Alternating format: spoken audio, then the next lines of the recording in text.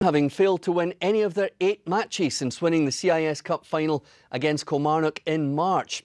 Hearts with two wins and a draw over their city rivals in the league this season and 10 points from 15 gathered from their last five games. Two changes for Hearts in Setanta Sports Live Saturday lunchtime kick-off. In came Zaliukas and Pospisil with Ksanavicius and Velicka dropping to the bench for a match refereed by Stuart Dougal. Hibs started with a back three which included Shelton Martis. Midfielder Guillaume Beuzelin also came back into the side as did youngster Damon Gray as Hibs looked to improve on one win in their last 12 visits to face Hearts at Tynecastle. Your commentators Ian Crocker and Craig Burley.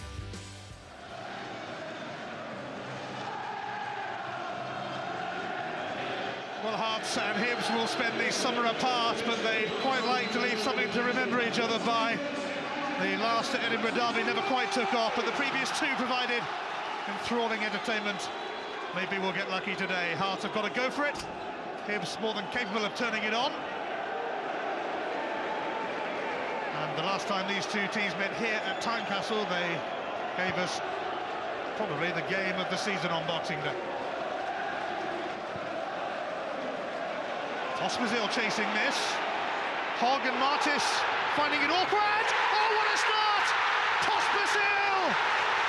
After 24 seconds, it's Hearts 1, Hibs nil, and that's the way to start an Edinburgh derby. Well, let me tell you, it's 10 out of 10 for perseverance for Pospisil. But if you cannot defend one punt up the field like that and you've got three centre halves, then you've got big problems. The goalkeeper's blameless because he's got absolutely no chance. We spoke about him having protection before the game. He got absolutely no protection here. It's one disaster after another. As a centre half, you cannot allow the ball to bounce there. Dean Shiels, who was involved in the Boxing Day drama here when the teams met. Bednar chasing and Martin's back pass has given McNeil a big worry. Well, I'll tell you what, it's not a day for your centre-half to be skidding a bouncy one back to a young goalkeeper like that. The, lad, the lad's going to be nervous as it is. Just deal with the situation as a centre-half. Fyssas. Oh, and Bednar nearly connected. What Rob Jones is doing, I don't know. But it's Bednar around the back. He doesn't deal with it. Again, he lets it bounce in the box. This time, he gets away with it. But this is the pass back to a young, inexperienced goalkeeper, bouncing on a skiddy surface. Hibs goalkeepers have had uh, their fair share of problems in high-profile matches this season. They don't need their own teammates to give them bother. Kingston, precision pass for Pospisil, and McNeil keeps hold of it. I think if this continues, I can see a quick change back to a flat back four. Now Gray, and look at the space here, he's got Fletcher with him. Fletcher, back for Gray, and Karipidis to the rescue for Hearts. He's got to hit it first time, you won't get time and space at this level.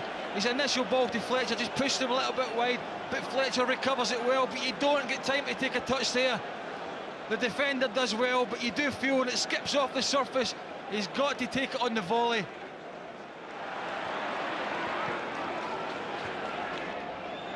Given away by Beuzelin. No foul by Rob Jones, although the assistant referee actually was going to give that. It's Fletcher, he's onside. And Fletcher did it as well and allowed Christoph Berra to get back, but the flag stayed down, much to Hearts' dismay. And that's another chance going to beg, and Stuart Dougal plays on, he's onside, and it's a fantastic ball. Great first touch from Fletcher, but once again, he's got time and space. He's also got Damon Gray on his left-hand side, and John Collins knows that's another opportunity missed. Fyssas. Bednar for Pospisil. And Pospisil for Bednar! Super save from McNeil and Jones just got it away from the incoming Mikoliunas. Absolutely great save because this for me should be in the back of the net from what, seven yards out? That is bread and butter for the striker at seven yards out. He doesn't get it in the corner enough, but you've got to give credit to the goalkeeper because his side were going to be 2 0 down here, no doubt about that. Martis with Pospisil. Bednar! Great save from McNeil. From Bednar again. Hearts hungry for a second goal.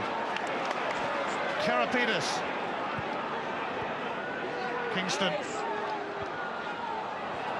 Beuzelin will cut that out.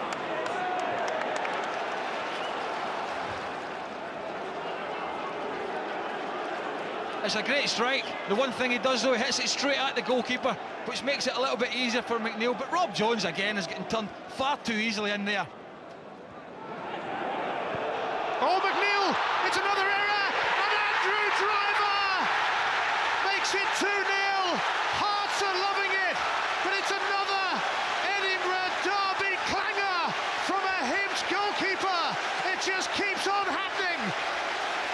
We know players make mistakes, but you have to learn from your mistakes. OK, the surface, the conditions play their part, but it's got to be bread and butter.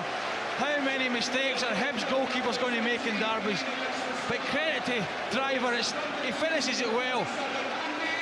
But my, oh my, he's just made two very good saves. His confidence must have been high, but he's just absolutely gifted the second goal to Hearts. Martis for Whittaker. Beuzelin! And Craig Gordon having to push that over. Find Finding space, Hibs in that centre of the park. If they can just use it a bit better. It's a decent strike. And it's pretty comfortable for Gordon. Whittaker can't get it away. And a foul. Gives Hearts a free kick, which they will be eager to make the most of. Well, they just upends Ivaskevicius. Kingston. Oh, and McNeil having to turn it over. It was very nearly 3 0. Yeah, good free kick. The last action of the first half. Driver for Mikoliunas. Mikoliunas. Berra! Will it go in? No, it won't. Well, they scored in the first minute of the half, but they couldn't quite score in the last minute of the half. When this ball comes back off the frame, there's two Hearts players hit the back post and neither of the two of them can put it in. David Murphy takes it. And Sproule. Ivan Sproule. Frustrated. He's free, spear around the back. It just comes on his left side there. It's a difficult one to take. It's just a little bit behind him. I think he's looking to knock it back across. Ivan Sproule. Sproule shakes off driver. Shields, it was behind him. Murphy. Karipidis is in trouble. He's on a yellow card. He's been let off. I, I think if he's not yellow carded, he gets a yellow card here. I think Stuart Dougal realises who it is.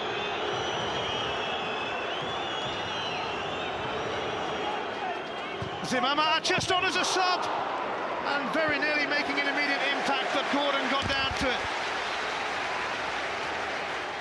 Yeah, good save. I think he sees it early enough, Craig Gordon. It's not quite in the corner. You can see, I think he knew Zemmama was shaping up to try something like that.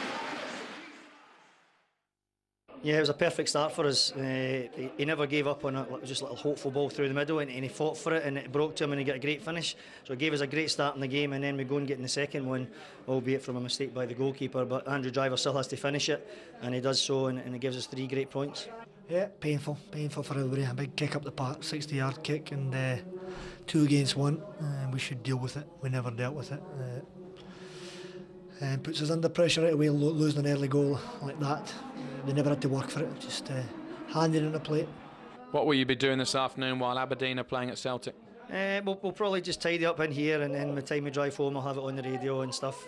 We can just hope now that Celtic go out and win their game, but uh, we've, we've done what we had to do today and we can now look forward to what happens next week. Well, Celtic.